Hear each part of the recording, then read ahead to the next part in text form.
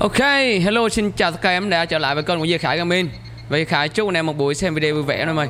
Và video này thì uh, Khải sau một khoảng thời gian trải nghiệm cái nhẫn uh, chón 40 Và kháng hỏa 10 Thì uh, hôm trước Khải có mua uh, 12 kim Thì bây giờ Khải cũng bán lại 12 kim lại cho anh em trong bang.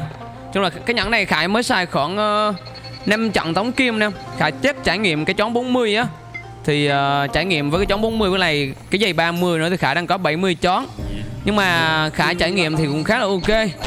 Nhưng mà đa số thì Khải thì đi đánh là gọi là đi bắt lẻ thôi nè.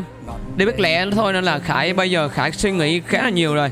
Khải nghĩ với cái lượng chón ờ, 40 là từ cái nhẫn 20 với lại ờ, giày 30 là đủ rồi đánh rồi. Đó Khải đang uh, suy đoán là vậy đó. Đây là cái nhẫn cũ này nên là dư ra cái nhẫn này thì Khải hôm trước Khải mua 12 kim của thằng em Trung Vegeta á. Khải mua với 12 kim. Thì bây giờ Khải cũng bán lại với giá 12 kim cho anh em trong bang. Đâu? 11 kim thôi. Tính ra 12 kim nhưng mà tính ra giá kim có 63 thôi.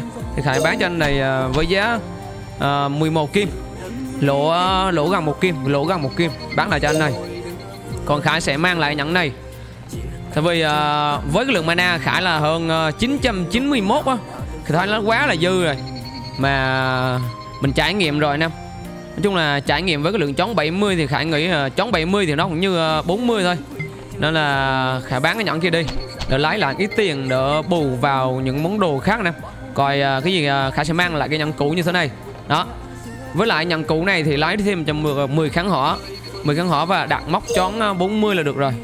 Đó tại vì đa số đi bất lẻ thôi. Giờ đang còn lồn gặp khải cũng bốc hơi thôi nè nên là mang ờ, 70 chó thì cũng gọi là quá dư. Cũng chả giải quyết được vấn đề gì. Nên là khải quyết định bán nha em. Đó bán cho cái ông anh ờ, uh, mờ bí mật. Nói chung là hôm trước khải mua 12 kim thì giờ khải bán là 12 kim thôi. Mà với cái giá kim thì khải lấy cho anh số 3 thôi.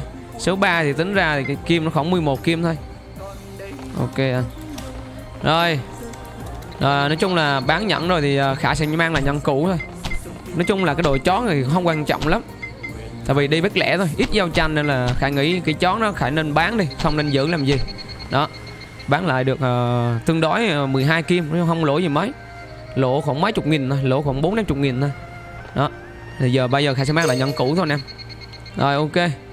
Ok anh em thì ở video này thì không có gì hơn. Khải bán cái nhận uh, mua 12 kim và khải bán lại uh, khoảng gần 12 kim. Đó lỗ một vài trăm xu không không suy nhớ. Ok bây giờ không có gì nữa. Khải bye bye mọi người nhé hẹn em ở những clip sau đây kìa khải sẽ uh, hiện tại khải đang mang set miếng bánh ờ, để đi chan thôi. Đó miếng bánh ba miếng hai và miếng bánh ba. Đó sẽ bánh của khải miếng bánh 8 nha anh em. Rồi đi chan thôi.